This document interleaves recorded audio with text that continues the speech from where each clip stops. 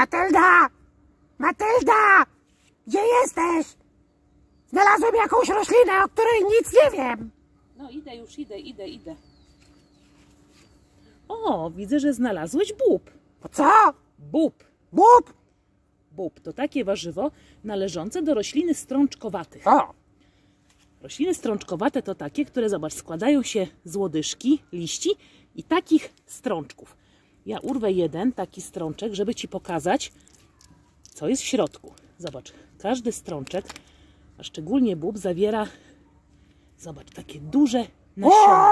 o jakie fajne! Jakie fajne. I I one mieszkają w takim domku, tak? w takim domku, o zobacz, Wow. możemy, hop, to jest taki domek, w którym się rozwijają, w którym rosną, potem wyciągamy i zobacz, Niam, niam, niam, niam, niam, niam. Miam, miam, miam.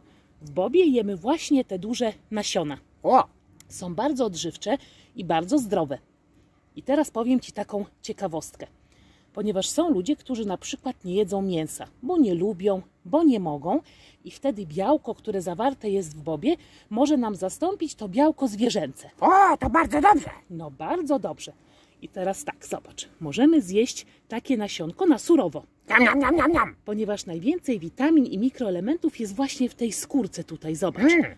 Ale jeżeli nie chcemy jeść na surowo, to możemy go ugotować na parze, leciutko soląc. O, Widziałeś? Zobacz. bardzo ładnie. Możemy jeść go na gorąco, możemy jeść go na zimno i tak jak powiedziałam, na surowo.